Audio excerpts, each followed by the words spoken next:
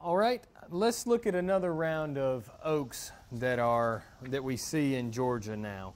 Um, let's start off with the water oak. The water oak's scientific name is Quercus nigra. Okay, um, within the water oak, it, it's pretty significant in the leaf shape. You got to be careful sometimes because you'll see, you know, a varying leaf shape, but for the most part, it's going to be what's called spatulate or shaped like a spatula. Other people will also say um, that it's shaped like a raindrop. Okay, so you can see the raindrop shape right there um, in this water oak. Of course, when you look at the leaves, they're, fairly stiff, but not of huge significance, but dark green on top, a lighter green on the bottom, um, and that's again Quercus nigra. Um, adapted to swampy areas, that's why it gets its name as water oak. Okay. Up next, we have the laurel oak. Okay.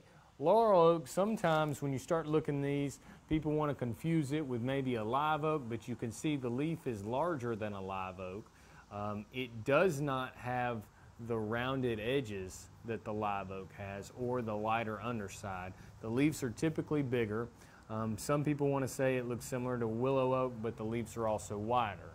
So for the laurel oak, Quercus laurifolia, when you're working with students or other people on Tree ID, just make sure that you get laurifolia. There are some other varieties that may confuse people, but Quercus laurifolia, the leaves are going to be lanceolate shaped, um, so thin at the top and thin at the bottom, shaped like a lance, um, and then broad um, in the middle, typically unlobed. Now, sometimes you will see maybe a little tooth in one of the laurel oaks, as you can see kind of in this guy right here.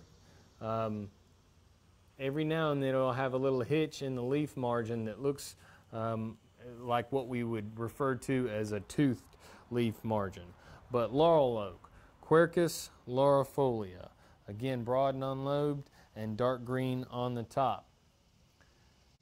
The third oak we're going to look at is the blackjack oak. Pretty significant leaf shape here. Shouldn't be able to confuse this with many others um, as it's a very large leaf.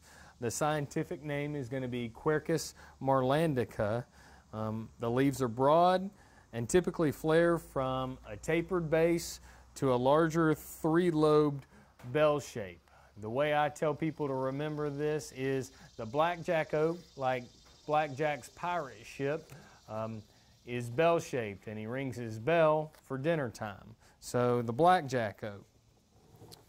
They are dark green. These leaves actually remain attached to the twigs through the winter and the fall and then fall off right there near the end of the fall.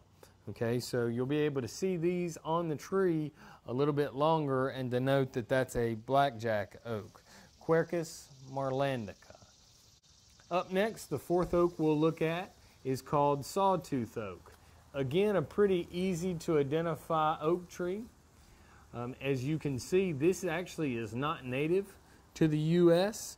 Uh, it was brought here, but now is actually one of the more beneficial non-native species that we see because a lot of your deer hunters like to plant it for food for wildlife like deer. They love the acorns. They get to be pretty large. They have a, a dreadlock shaped um, top to them with like small stringy pieces coming off of that. But when looking at the leaf, you can see a long slender leaf um, denoted by the bristled tips. These hairs right here that you can see are going to come out at the end of each vein.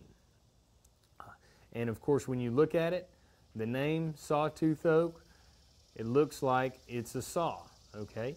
Um, again, you can see the beginnings of an acorn right here. It will get a lot larger than this, um, but that would be what kind of the top looks like, and these little stringy portions will get a little bit longer as they go, and the acorn will um, come out and again, a very popular white-tailed deer food. So a lot of people plant these um, in and around their food plots. Last but not least, we have willow oak. Okay, again, we've seen laurel oak, we've talked about live oak before, and we've seen water oak. Um, this is another one with kind of a slender leaf, but very thin. Now, many people um, are familiar with willow oaks because they're in landscape plantings, but this is a true wild willow oak, a very narrow leaf um, with, a, with an acuminate tip there. You can see the acorns, which will end up maturing but stay pretty small on this.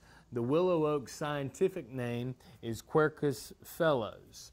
Um, some people want to get this confused with maybe a black willow, but the difference between the willow oak and the black willow is that the black willow actually has teeth in it.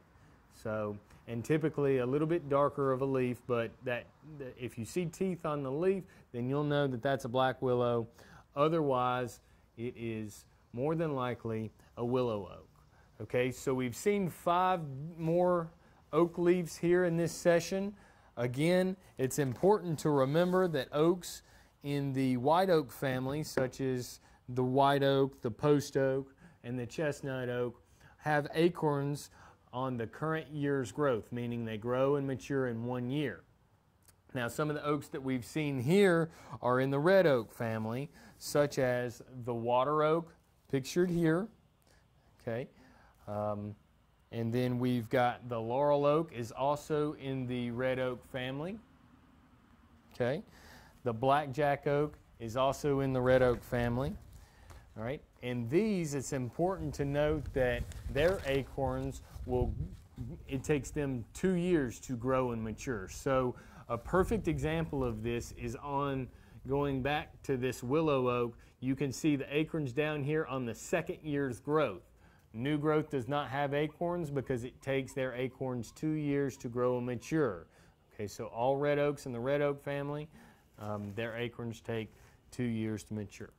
And that's it for this session.